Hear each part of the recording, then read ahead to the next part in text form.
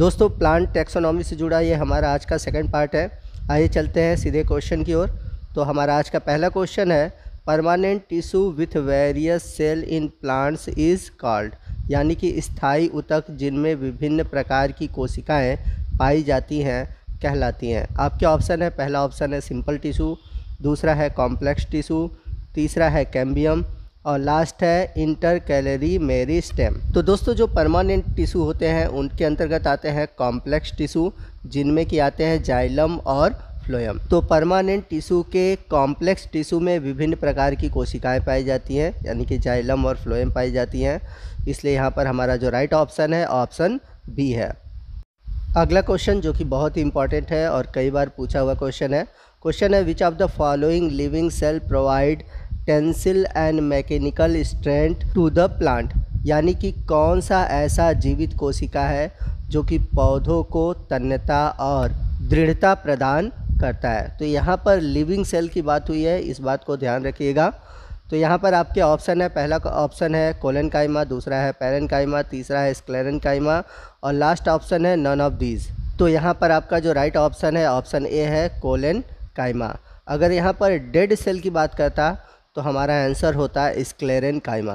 तो क्वेश्चन को पढ़ते हुए ध्यान दीजिएगा कि आपसे लिविंग सेल का पूछा है या फिर डेड सेल का। अगला क्वेश्चन है which of the following is responsible for conducting radially water and food material in the woody stem यानी कि जो काष्ठी पौधे हैं, उनकी तनों में जल एवं खाद्य पदार्थों का अरिसंवहन होता है। तो पौधों में ऊपर की ओर जो वाटर और फ़ूड का संवहन है कंडक्शन है, वो जाइलम और फ्लोएम करते हैं। लेकिन जब किनारों की बात आती है, यानी कि अगर ये तना है और किनारों पर फ़ूड का या फिर वाटर का संवहन हो रहा है तो वो होता है वस्कुलर रेस के द्वारा। तो यहाँ पर आपका जो राइट ऑप्शन है ऑप्शन फोर है। तो याद रखिएगा, आपसे जब अरि संवहन पूछेगा तो आपका आंसर ये होगा। अगला क्वेश्चन बहुत ही अच्छा क्वेश्चन है. Annual ring in a tree signify the age of the tree what is the annual ring are made of यानी कि वृक्ष में वार्षिक वलय वृक्ष की आयु को दर्शाता है. तो ये जो वार्षिक वलय है, यानी कि जो एनुअल रिंग है, ये किसके बने होते हैं? तो आप सभी ने एनुअल रिंग पढ़ा होगा. जब आप जो काष्ठी पौधे हैं उनको काटते हैं तो आप देखते होंगे कि उसमें आपको कई रिंग दिखाई देते हैं. तो उस रिंग को काउंट करके आप पता कर सकते हैं कि उस पौधे की आयु कितनी है। तो यहाँ पर आपसे पूछा है कि जो वार्षिक वलय यानी कि जो एनुअल रिंग है, ये किसके बने होते हैं? तो याद रखिएगा, ये बने होते हैं सेकेंडरी जाइलम तो यहाँ पर आपका जो राइट ऑप्शन है ऑप्शन सेकेंड है ग्रोइंग सेकेंडरी जाइलम यानी कि बढ़ते हुए द्वितीयक दारू।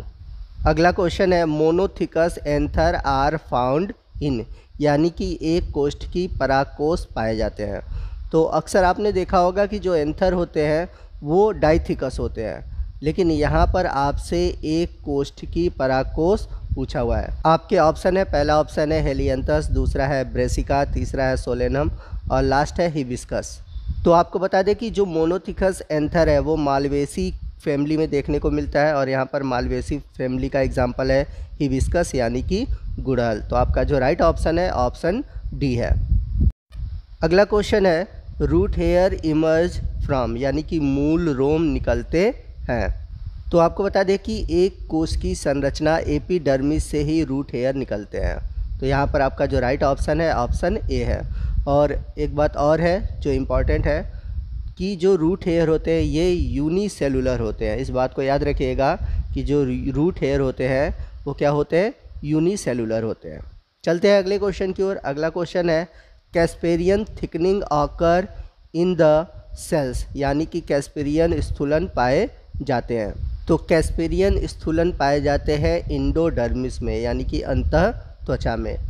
तो जैसा कि हम सभी जानते हैं कि सबसे पहले पाया जाता है एपीडर्मिस पिनकॉर्टेक्स इंडोडर्मिस, पेरीसाइकल, जाइलम और फ्लोयम तो ये जो इंडोडर्मिस वाला पार्ट है, यहीं पर पाया जाता है कैस्पेरियन स्थूलन। चलते हैं अगले क्वेश्चन की ओर। बहुत अच्छा क्वेश्चन है। The somatic cell of any plant, there are 16 chromosome in its pollen mother cell. यानी कि किसी पादप की काई कोशिका में गुणसूत्रों की संख्या 16 है। उसके मातृ पराग कोशिका में गुणसूत्रों की संख्या क्या होगी? तो तो दोस्तों, यहाँ पर बोला है कि सोमैटिक सेल में गुणसूत्रों की संख्या 16 है। तो सोमैटिक सेल में गुणसूत्रों की संख्या 16 है तो पराग मातृ कोशिका में भी गुणसूत्रों की संख्या 16 ही होगी। क्योंकि हम जानते हैं कि जो पराग मातृ कोशिका होती है, ये भी डिप्लॉयड होती है। तो जब ये डिप्लॉयड है और हमारा सोमेटिक सेल भी डिप्लॉयड है तो दोनों में सिक्सटीन होगा। लेकिन अगर यहाँ पर हमसे पूछता कि पराग कण में गुणसूत्रों की संख्या कितनी होगी, तब हम यहाँ पर आंसर रखते एट लेकिन यहाँ पर हमारा जो क्वेश्चन के अकॉर्डिंग आंसर है, वो होगा सिक्सटीन और यदि आप चाहते हैं कि मैं इस तरह के क्वेश्चन पर एक अलग से वीडियो बनाऊँ, ताकि आपका ये जो कंसेप्ट है, इस तरह के क्वेश्चन से जुड़ा, वो क्लियर हो सके तो प्लीज़ मुझे कमेंट करके बताइएगा। मैं अगले पार्ट में इस टॉपिक पर वीडियो बनाऊँगा। अगला क्वेश्चन है, velamen tissue is found in the root of, यानी कि वेलामेन उतक पाए जाते हैं।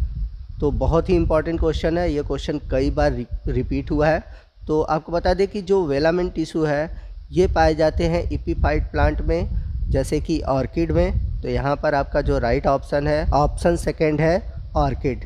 तो जो वेलामेन टिश्यू होते हैं, ये पाए जाते हैं इपीफाइट प्लांट के एरियल रूट में और ये अपने चारों तरफ़ से वाटर को मॉइस्चर के फॉर्म में एब्जॉर्ब करते हैं। चलते हैं अगले क्वेश्चन की ओर। अगला क्वेश्चन है कार्क सेल आर यानी कि कार्क कोशिकाएँ होती हैं।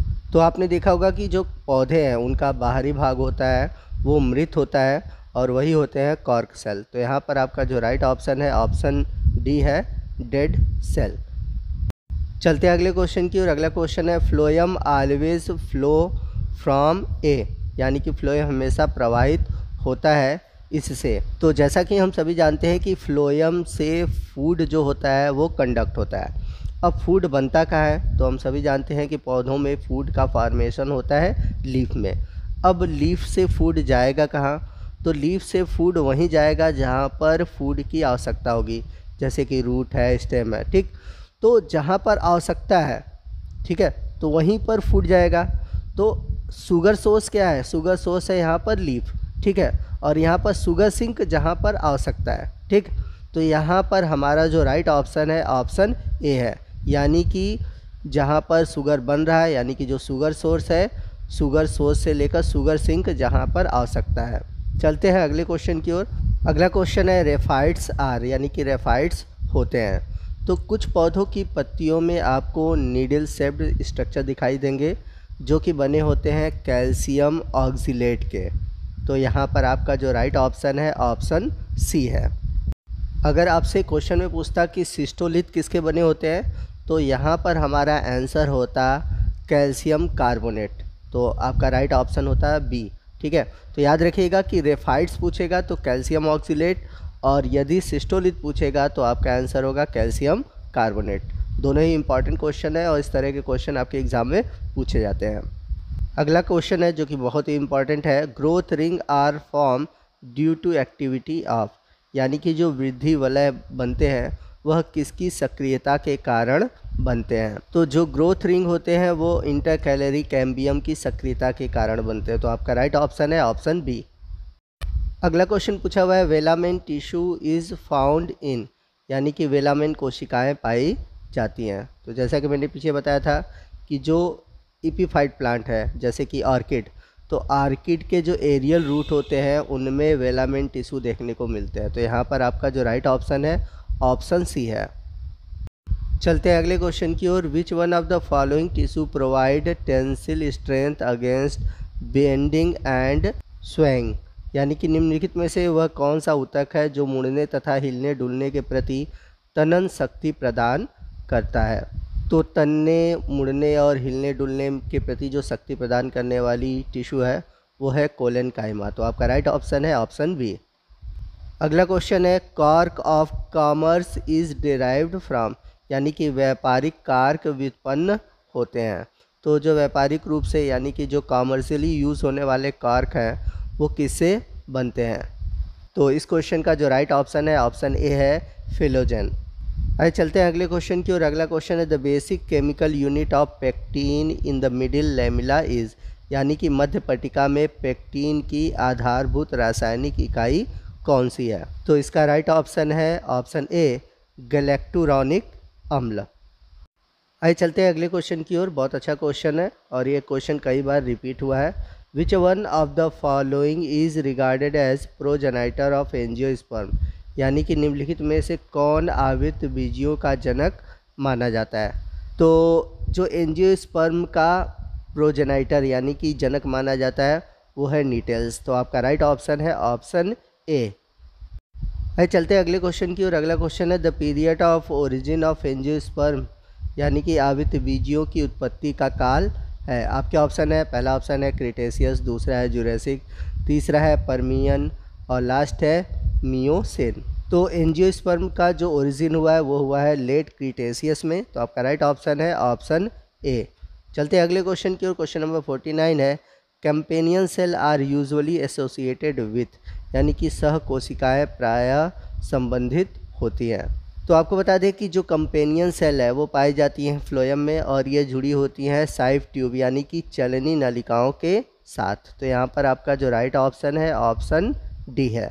तो दोस्तों, ये था हमारा प्लांट एनाटॉमी से जुड़ा हुआ आज का वीडियो आपको आज का ये वीडियो कैसा लगा कमेंट करके ज़रूर बताइएगा। वीडियो अच्छा लगा हो तो वीडियो को लाइक और शेयर करना मत भूलिएगा। कोई भी डाउट हो, आप हमसे कमेंट करके पूछ सकते हैं। और यदि आप हमारे चैनल पर नए हैं और अभी तक आपने हमारे चैनल को सब्सक्राइब नहीं किया हुआ है तो प्लीज़ चैनल को सब्सक्राइब कर लीजिए, ताकि जब भी मैं इस तरह के वीडियो अपलोड करूँ, उसका नोटिफिकेशन आपको मिलता रहे। तो मिलते हैं अगले वीडियो में अगले टॉपिक के साथ। तब तक के लिए जय हिंद, जय भारत।